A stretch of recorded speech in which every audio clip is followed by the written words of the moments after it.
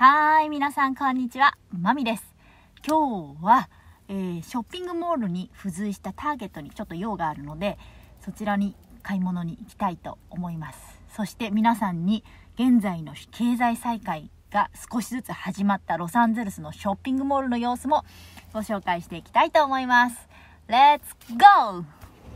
こちらがショッピングモールになりますが、どこも全部閉まってます。ここがホリスターですね。バンス。全部閉まってますね。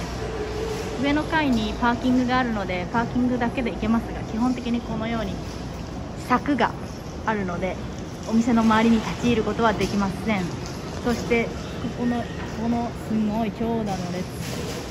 これがターゲットに行くための列です。ターゲットのためにあのここのモールが開いてるようなもんでこの奥もですねまた柵で行けないようになってます。全て閉まってます。シャッターですね。閉まってます。1回も立ち入ることはできません。一応13日からですねあのお洋服とか店舗の外で受け渡しは可能とあるんですがまだまだ、えー、中に、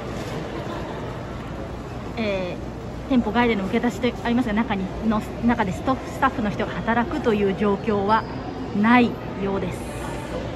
という感じでショッピングモールもなんかいろいろみたいで申請して許可が下りたところのみ営業可能という感じみたいですが私の言った今回ご紹介したところはまだまだみたいですね。ねなんかニュースでもたまたま見たんですけど同じこの時期、えー、医療関関係のお店は90%ダウンって言ってましたね。はあ、経済再開、まだまだ先は長そうです。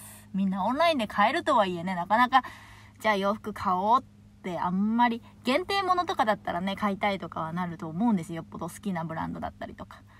なかなか難しいでしょね。出かけないし、いっかーって家にあるものでってなっちゃいますもんね。私もあんまりね、ジェミーとかのサイズアウトになっちゃったから買おうっていうのはあると思うんですよ。でもなかなかそれ以外買おうって気にならないですよね。うん、難しいと思います。もし参考になったらいいねボタンとチャンネル登録をお願いします。いつもご視聴ありがとうございます。では、また他の動画でお会いしましょう。See you! バイバーイ